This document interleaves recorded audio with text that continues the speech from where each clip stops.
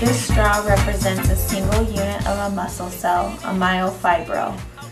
The dark lines represent the thick filaments myosin and the thin filaments actin.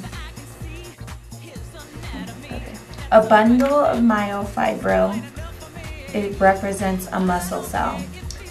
The green netting represents the membrane, the sarcolemma. The ribbon with the holes represent the T tubules, which calcium can flow in and out of. A group of muscle cells put together is represented by a fascicle. A group of fascicles put together represents a whole muscle. Here we have a muscle cell with the endoplasmic reticulum wrapped around. These white represent the calsequestrin, the molecule that holds on to the calcium. This is the muscle cell. This is the nerve cell. This everything black here is the sarcolemma. This is calcium. These are receptors. These are receptors. This is the motor end plate. This is potassium. This is sodium. Um, this is describing or explaining that it's negative on the inside of the cell and positive in the sarcolemma. Here is our mitochondria. Um, this is action potential. Action potential causes depolarization to occur, so then the inside of the nerve cell is more positive than the outside. This causes the calcium to flow in through the ion channels. This sends the vesicles to the membrane and it pours out its contents, which is acetylcholine, into the synaptic cleft. The acetylcholine lines up with the receptors at the motor end plate, and this triggers the sodium to flow in and the potassium to flow out. Now it is more positive on the inside of the muscle cell and it's more negative in the sarcolemma. Increase in the positive ions inside the muscle cell initiates an action potential on sarcolemma. Action potential travels down sarcolemma into T tubules and stimulates the release of calcium from the terminal cisternae of the sarcoplasmic reticulum into the sarcoplasm of the muscle cell. Okay.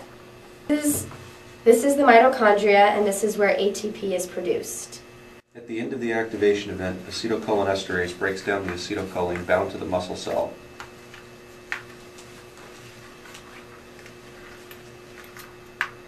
The acetylcholine is reabsorbed by the, by the presynaptic cell. This is a representation of myosin. It is a molecular motor that is responsible for the contractile action of muscle fiber. In its low energy configuration, the myosin heads are extended away from the midline.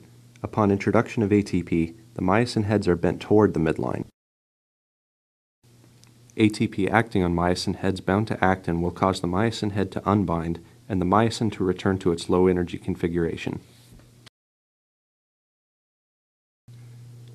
Actin, represented here by the silver beaded double helix, is the protein fiber acted on by myosin.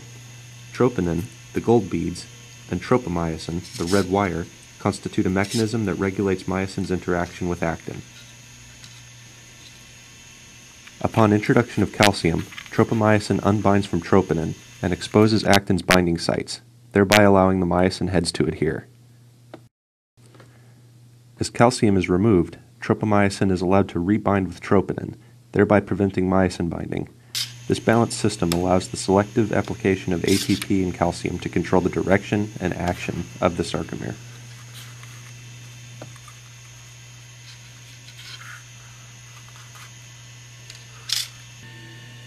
Inside the myofibrils are a vast number of functional subunits called sarcomeres, one of which is depicted here.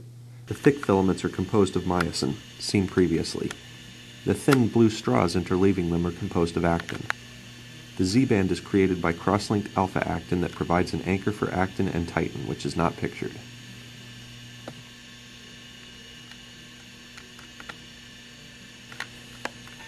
As the muscle cell is stimulated to contract, the I-band contracts as myosin walks along actin, enabled by the presence of calcium and driven by ATP. As calcium is removed from the sarcomere, additional ATP causes myosin heads to unbind from actin as usual, but without calcium, tropomyosin makes actin's binding sites unavailable, thus effectively disengaging myosin from actin and allowing the sarcomere to stretch. These processes acting en masse and in a coordinated manner allow animals to move within and manipulate their environments.